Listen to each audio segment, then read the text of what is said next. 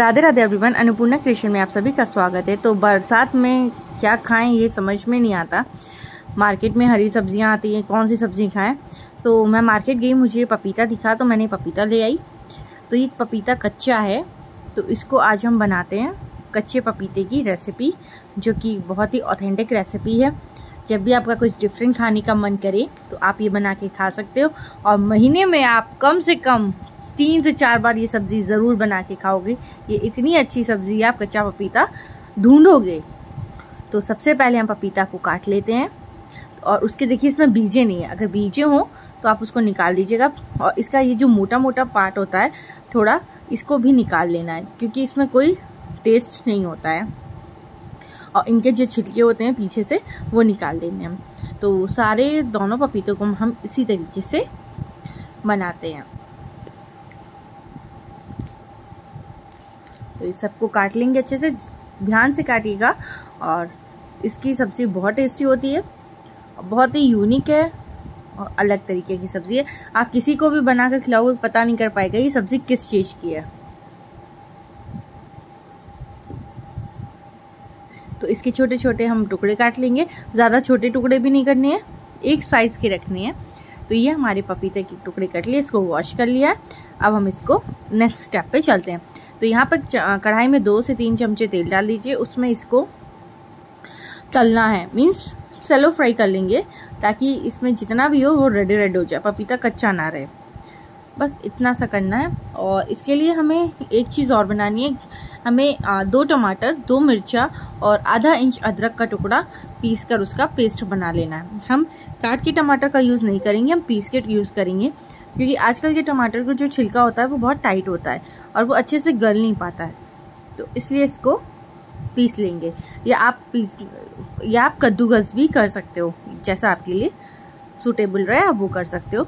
तो इसको अच्छे से हमें चारों तरफ़ से फ्राई कर लेना है, ताकि एकदम से रेडिश हो जाए। बहुत ज़्यादा रेडिश कर लेंगे तो वो जलने जैसा हो जाएगा। इस बात का भी आप लोग ध्यान रखिएगा। तो देखिए, ये पपीता कितना अच्छा से कलरफुल हो गया है तो अब हम इसको निकाल लेना है। भाई, जो भी मेरे चैनल पर नए हों, वो प्लीज़ सब्सक्राइब कर लीजिएगा मेरा चैनल आप लोग आते हो चैनल पे, घूम कर चले जाते हो सब्सक्राइब नहीं करते हो।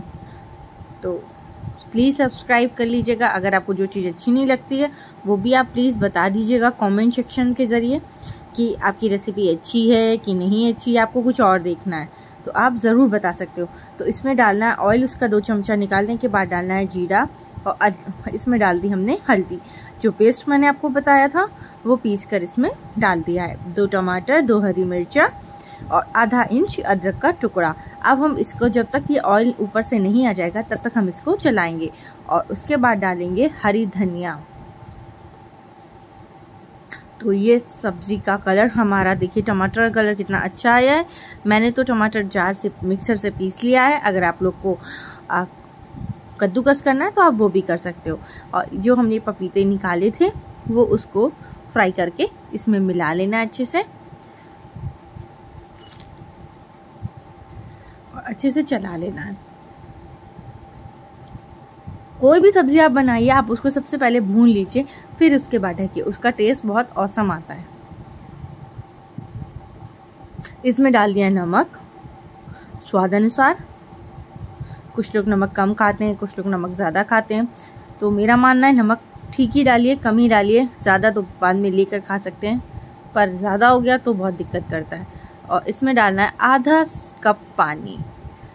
इसको चलाने के बाद दो से तीन मिनट के लिए ढक कर रख देना है। इसको मैंने ढक कर रख दिया है।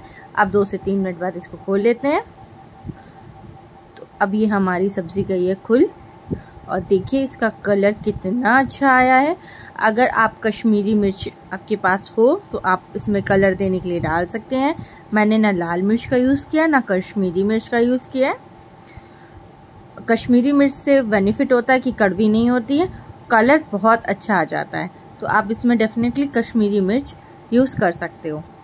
तो इसके बाद इसमें डाल देना है गरम मसाला और उसको अच्छे से चला लेना है।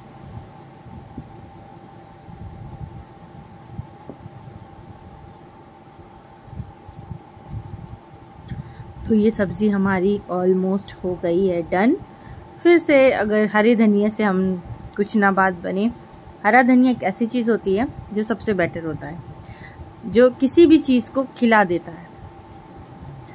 एकदम से उसमें ग्रेस आ जाता है हरे धनिए से, कटे धनिए से। जिन लोगों को कटा धनिया पसंद नहीं है, वो लोग पीस के धनिया मिला सकते हैं। तो ये पड़ गया हमारा हरा धनिया। कलरफुल हो गई हमारी सब्ज़ी।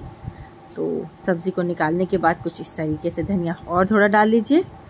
तो ये हमारी रेसिपी हो गई है डन इसको आप चावल के साथ खा सकते हो, रोटी, पराठे, किसी के भी साथ खा सकते हो, पूरी के साथ भी इवनली खा सकते हो.